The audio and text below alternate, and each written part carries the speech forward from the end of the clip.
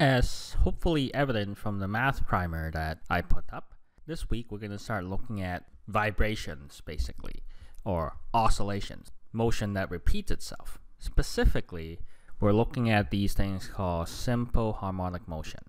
So the harmonic refers to how it has a certain frequency because it repeats itself, and simple here refers to that the motion doesn't lose energy. It keeps all the energy within itself and therefore the amplitudes remain constant. So we can describe this with a simple sinusoidal function.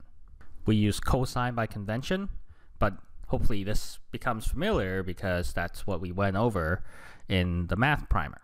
So these kind of motion arise in very fairly specific system and one type of these system is these things called spring mass system where it involves a mass and a spring. Because we have a spring force that's governed by Hooke's law, as you stretch it, you're going to get a spring force that pulls you back. In fact, the more you stretch it, the more it pulls back. But then as it comes back, now you're starting to squish it, then your spring pushes it back out. So then it winds back and forth, back and forth, and oscillates simple harmonic motion. Then the last thing about the spring mass system is you can figure out the frequency based on the mass in the spring. This frequency, specifically angular frequency for spring mass system, is related to the spring constant and the mass with a square root sign.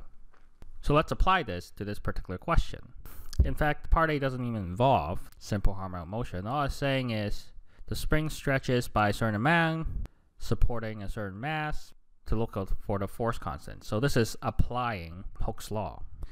So here we have the baby.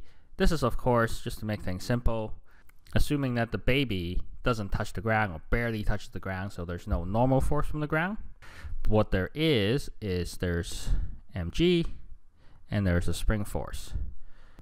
In this case, because the baby is supported, we'll say that the acceleration is zero, so that when we do sum of forces, in say that direction to be positive, we get that equals zero. So we can solve for here, we're talking about the magnitude. So we drop that negative sign to find K. We basically take the force divided by the extension, which is all given to us.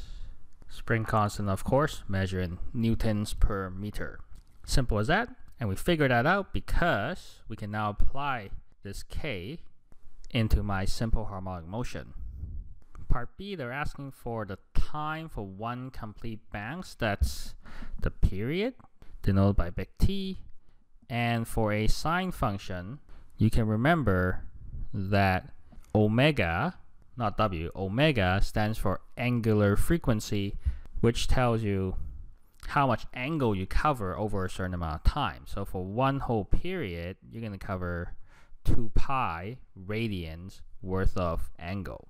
So shifting this around, we know that the period is 2 pi over omega. So then we need to find omega. We know omega is the square root of k over m. We now have k, and we have also m, which is the mass of the baby shaking up and down. And you can double check that unit there and the unit turns out to be per second. What's hidden here is you can talk about it in terms of radians per second, but radians is basically a ratio between your arc length and your radius, so it's meter per meter. In that sense, it's unitless. With this omega, we can take 2 pi and divide by omega. And if you just apply that into your calculator, you find that it's basically designed to give you one second part C, they're asking about the maximum velocity given a certain amplitude. For these kind of motion, because it's governed by that sinusoidal function, if we want the velocity, we take the derivative of my position, and the derivative of cosine becomes a negative sign, but because we have omega times t inside, the chain rule says we have to multiply the whole thing by omega. What that lets us know is this part, A omega, becomes V max. So knowing omega and now knowing the amplitude, we can actually quickly work out the maximum speed in meters per second.